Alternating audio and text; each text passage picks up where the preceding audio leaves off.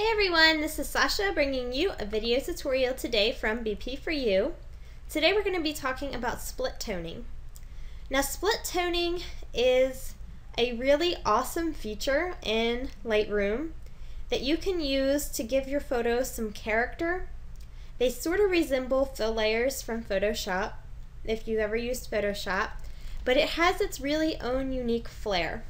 So we can add a color to the highlights and a color to the shadows, and it doesn't have to be the same color. So there's a couple ways that we can do this. First way is I can open up this box and I can click around to pick a color that I want. And if I hold down my Alt key, I can sort of drag through here and decide where I want my colors to fall you can see I can sort of change change how they look here. Um, and if I found a color that I was really in love with, if I come up here and I press Alt and I click, then I will have that color saved into my little presets up here. So let's go ahead and close this. There's another way that we can do this. So let's say we didn't have our saturation up very high and we wanted to use this hue slider here. But it's a little bit hard to see um, what color that we're picking and what tone that we're in. So if you press down the alt key as you go through and slide through here it's going to pull the saturation up to 100% until you pick the color that you want. When you pick the color that you want you let go of the alt key and it keeps your saturation down where you had it to begin with and so then you would be able to pull your saturation up or down depending upon where you wanted that to be. So the same thing applies with the shadows, um, all those little keyboard shortcuts. So we can pull our saturation up on our shadows just a little bit. And let's pick a nice warm color for our shadows. So then we can play with our balance. So our balance decides whether our highlights are more of the priority color or the shadows are more of the priority color.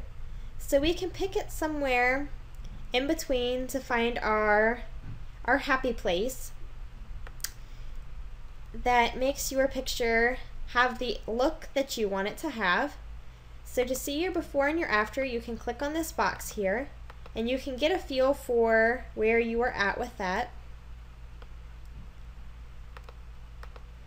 So one of the things that I like to use the split toning box for, personally, I like to use it to maybe fix up some skin tones sometimes if my skin tones I feel are a little bit wishy-washy. I can use this split toning box to give them a little punch and a little bit something more. Another way that I like to use it is just to add a nice, fun, pretty tone to pictures. Sometimes I like to use it to make pictures look whimsical or sometimes a little bit enchanting. Another thing that you can use this for is for black and whites. Don't feel limited to one or the other. The split toning panel works on both color and black and white photos. So if you have a black and white photo and you want to give it a little bit more dimension, maybe a vintage look, something sepia, um, the possibilities there, um, could go on forever.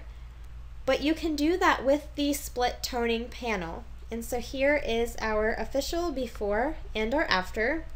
And so we gave her skin um, a more warming glow touch to it with a little bit of a red hint or hue.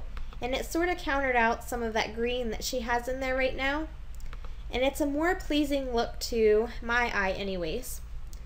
So, thank you for watching this video tutorial. Happy editing!